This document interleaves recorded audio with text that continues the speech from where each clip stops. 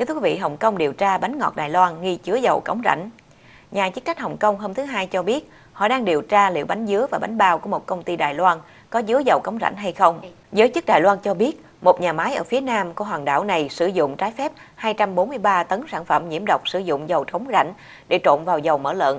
Dầu mỡ lợn đã được cung cấp cho ít nhất là 900 nhà hàng và tiệm bánh tại Đài Loan.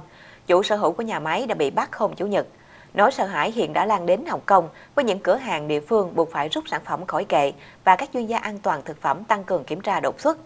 Được biết, Hồng Kông cũng đang xét nghiệm bánh trung thu ở các cửa hiệu trên toàn thành phố. Vụ việc lại rơi lên mối lo ngại trong khu vực về các tiêu chuẩn an toàn thực phẩm.